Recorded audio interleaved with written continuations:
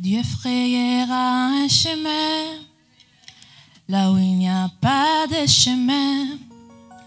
Il frayera un chemin pour toi, mon frère, ma soeur. Ne considère pas ta situation, car il est capable de tout. Il est le spécialiste de tous les cas impossibles.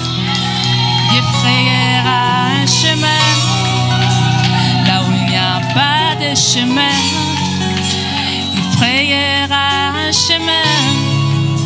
Pour toi, mon frère, ma sœur, ne considère pas ton problème, car il est capable de tout.